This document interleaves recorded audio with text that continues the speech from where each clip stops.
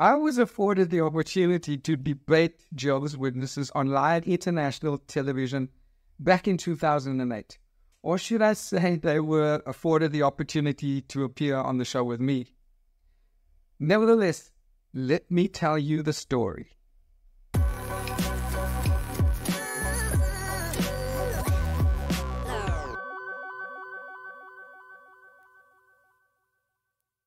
Hey everyone, before we dive into today's video, I wanted to take a quick moment to tell you about something exciting.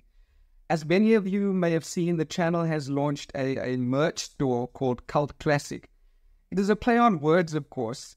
We've all seen them, um, those iconic objects that become cult classics, from the sleek lines of a vintage muscle car to the minivan that oared you to countless soccer practices, the roller skates, the 80s style boomboxes, and the vinyl records. These items hold a special place in our hearts. It's a great way to show your appreciation for the truly unique aspects of history, all while supporting the channel.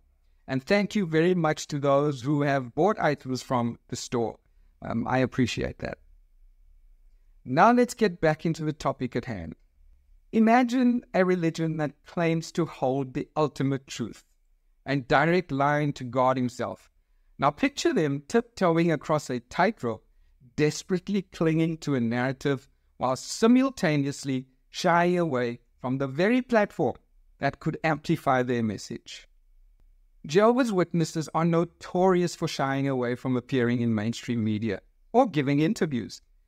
And the few times that they do is to defend themselves against their handling of CSA or to address attacks on their members as we have seen with the Kingdom Hall blasts in India last year. However, when faced with an opportunity to talk about their faith and doctrines on a mainstream platform, they shy away from it. Moreover, there is an irony in their refusal.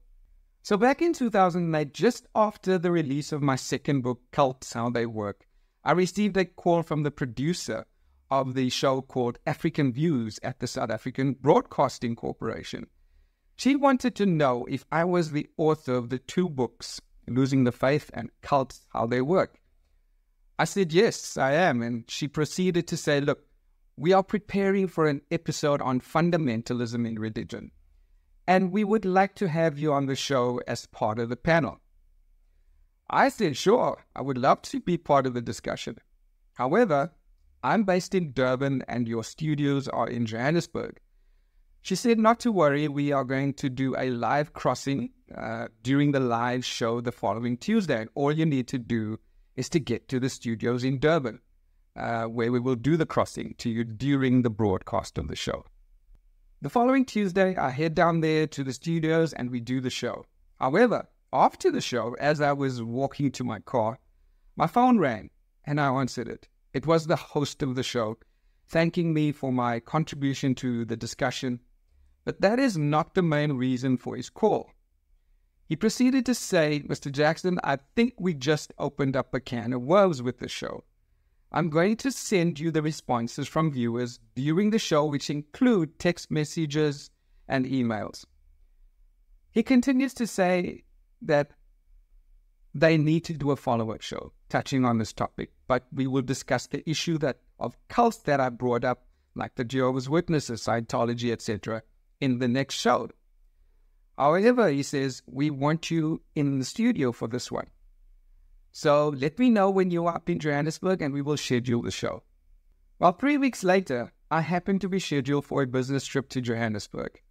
I contacted Uli, the host of the show, and told him that I would be in Johannesburg the following week. And I asked him if he was still interested in doing the show. He said, Great, yes, let's do it. So let me know when you are in Johannesburg and we can schedule a meeting. I did that and we met at the studios in Johannesburg uh, for a briefing. Over lunch, we discussed the format, etc., together with another guest who was a former cult member from Nigeria. Uli said to me that he would reach out to the Jehovah's Witnesses to ask them to send a representative to the show because they would like to have a balanced perspective and hear the story from both sides. I said, by all means, reach out to them because I would love to debate them on live international television. But I said, they might refuse to be on a show with a known apostate. But the prospect of a live television debate thrilled me. The following day, Uli called me to tell me how the interaction went with the branch office in Krugersdorp on the outskirts of Johannesburg. The person that they spoke to on the telephone asked them what the show was about. The producer says the show will be about cults and high control groups, and your organization is labeled as one. But we would like to hear your side of the story and afford you the opportunity to defend yourselves and set the record straight. So the person on the other side of the call asks what type of questions will be asked or can be uh, expected, and if they could send them a breakdown of the questions that will be covered. The producer replies, Look, this is a discussion panel. There are no set questions. The line of discussion will vary as the panelists uh, give their opinions and views, and the discussion uh, will flow from there. Then the person asks, Who else will be on the show? So the producer answers, We will have a representative from Scientology uh, on the show, Ryan Hogarth, um, who subsequently left Scientology not long after the show. We will have a an ex cult member from Nigeria on the show, and we will have Robin Jackson, who is a former member of your organization on the discussion panel, too. And that was when the invite was declined. However, we continued with the show and it received one of the highest ratings of all the episodes in the history of that show. The irony was as thick as the humidity in the Durban South African summer. Here's a group claiming to possess absolute truth, the sole conduit to God, yet unwilling to defend their doctrines on a platform with the potential reach to reach countless souls. Weren't they the ones racing against the clock of Armageddon, desperately seeking converts? This aversion to open discourse extends beyond a single anecdote. Their multi million dollar media center, a testament to their financial muscle, seems discordant with the supposed urgency of the approaching end times. It's a case of paradise delay, wouldn't you say? Even their JW broadcasting channel, a foray into television evangelism, lacks the most basic element of public engagement a comment section. The reason, as we all know, is self evident. Why are Jehovah's Witnesses so averse to public theological debates? One primary reason lies in their centralized top down approach to information control. Unlike some denominations with open theological discussions, Jehovah's Witnesses adhere to a strictly defined set of doctrines disseminated solely through the Watchtower Society, their governing body. Public debates, with their inherent spontaneity and potential for unforeseen uh, challenges, could disrupt this carefully curated message. The Watchtower Society meticulously crafts all official pronouncements ensuring a unified voice across its global membership. Debates, with their unscriptural or unscripted nature, could introduce the risk of contradictory statements or interpretations. This could sow confusion among members accustomed to receiving information through a single controlled channel. Furthermore, public debates often involve exposing and critiquing opposing viewpoints. Jehovah's Witnesses who view themselves as possessing the sole channel of God's truth might perceive debate as a form of legitimizing alternative perspectives.